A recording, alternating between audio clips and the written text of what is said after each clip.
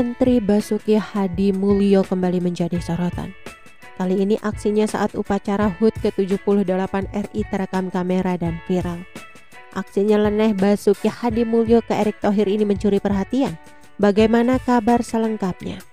Upacara hari ulang tahun ke-78 kemerdekaan Republik Indonesia berlangsung di Istana Negara pada Kamis 17 Agustus 2023. Dalam upacara tersebut, tingkah Basuki Hadi Mulyo menjadi sorotan warganet. Warganet bertanya-tanya terkait tingkah Menteri Pekerja Umum dan Perumahan Rakyat tersebut.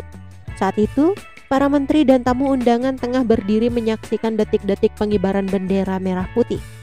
Namun saat tengah berdiri, Basuki tiba-tiba menengok ke arah Erick Thohir yang berdiri di samping kanannya. Basuki melihat terus ke arah pakaian yang dikenakan Erick Thohir sehingga sedikit membungkukan tubuhnya. Tak berselang lama tangan Basuki kemudian membuka sedikit baju Erick Thohir. Gara-gara tingkah Basuki, sang istri Kartika Nur Aini menyinggolnya agar betul-betul mengikuti proses pengibaran bendera. Tingkah Basuki itu mengundang senyum dan dari Menteri Keuangan Sri Mulyani, istri Erick Thohir, Elizabeth Chandra, dan sejumlah tamu undangan.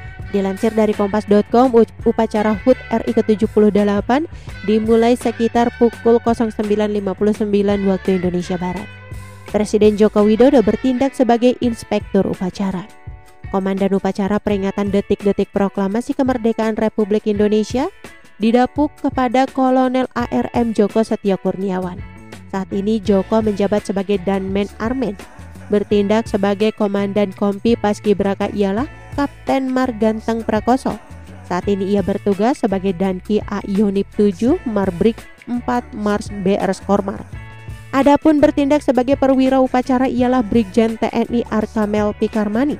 Pria kelahiran 10 Februari 1967 tersebut saat ini menjabat sebagai Kepala Staf Komando. Ia merupakan lulusan Akademi Militer tahun 1989 setelah profesi detik-detik proklamasi dilakukan pembacaan teks proklamasi oleh Ketua Majelis Musyawarah Rakyat Bambang Susatyo. Lalu sesudahnya Jokowi memimpin prosesi mengheningkan cipta untuk mengenang para pahlawan yang telah gugur. Pembacaan doa kemudian dilakukan oleh Menteri Agama Yakut Khalil Kaum. Oke teman-teman berita dari channel vlog berita. Sampai ketemu lagi di berita-berita selengkapnya. Assalamualaikum warahmatullahi